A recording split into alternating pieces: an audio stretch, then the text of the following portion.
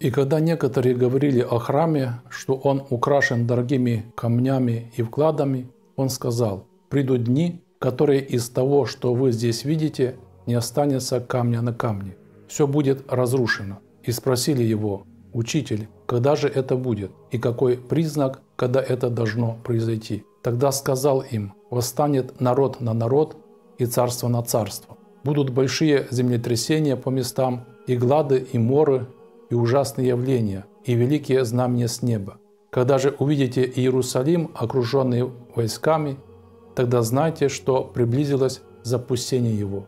Тогда находящиеся в Иудее добегут в горы, и кто в городе, выходи из него, и кто в окрестностях, не входи в него, потому что это дни отмщения, да исполнится все написанное. Горы же беременным и питающим сосами в те дни, ибо великое будет бедствие на земле и гнев на народ сей.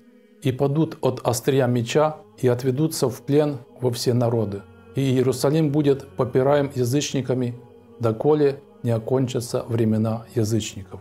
В сегодняшнем евангельском чтении Господь Иисус Христос в беседе со своими учениками раскрывает нам признаки своего второго пришествия.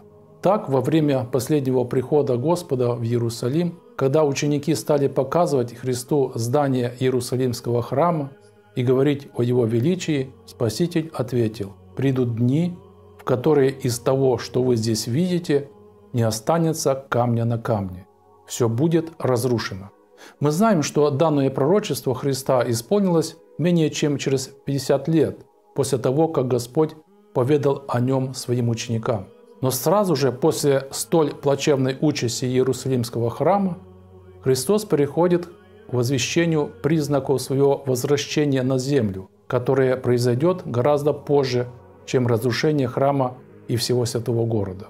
Впрочем, слова о разрушении Иерусалима и глобальном конце света настолько тесно переплетены в повествовании Христа, что многие толкователи воспринимают образы первого, то есть разрушения Иерусалима, как прообразы второго, то есть конца света.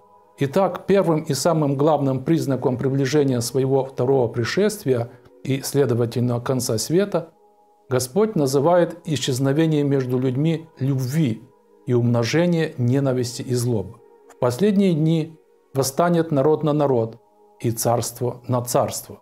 Каждый организм, приближаясь к концу своего существования, становится немощным начинает болеть и в итоге распадается. Подобное произойдет и с человечеством, которое схоже с огромным организмом, и в котором каждый человек – это та или иная клеточка или орган. К концу мира связь между этими клеточками ослабнет настолько, что каждая из них будет воспринимать другую клеточку как враждебную себе. Именно это и станет причиной умножения войн и общественных нестроений. Но кроме войн, мир постигнет и множество природных трагедий. Преподобный Иустин Чилийский на вопрос, почему в конце истории будет такое множество природных происшествий, замечает, человек, отвергший Бога, становится причиной возникновения в мире катаклизмов. Еще одним немаловажным признаком второго пришествия Господа Иисуса Христа является мерзость запустения. Что такое мерзость запустения?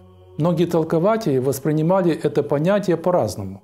Одни в приведенных словах видели буквальный смысл и соотносили наступление мерзости запустения с тем вопиющим событием, когда император Тит внес свою статую в Иерусалимский храм, чем, собственно, и осквернил его. Другие под мерзостью запустения видят события более позднего времени, а именно осквернение уже христианских храмов еретиками, раскольниками и прочими богоступниками. Третьи же понимают слова «мерзость запустения» в сугубо аллегорическом смысле. Так, например, преподобный Максим Исповедник полагает, что мерзость запустения – это прежде всего нечистые помыслы, возникающие в разуме человека и увлекающие его с пути спасения – при этом преподобный считает, что в последние времена количество таких искушений несоизмеримо умножится, а значит и людей, искренне преданных Богу, будет становиться все меньше и меньше. Читая сегодняшнее Евангелие, мы должны стараться не дать мерзости запустения проникнуть в наши умы и наши души. По словам святых отцов, человеческая душа – это тот нерукотворный храм, в котором желает обитать сам Бог. Но Бог, уважая свободу человека, не может самовольно войти в этот храм. Он всегда ждет приглашения со стороны человека. И дай Бог, чтобы мы своей жизнью не отвергли Бога, но дали Ему возможность войти в наши души. Ведь только в таком случае мы сможем достичь того желанного царства, которое Бог обещает в конце времен всем тем, кто любит Его и готов исполнять Его заповеди.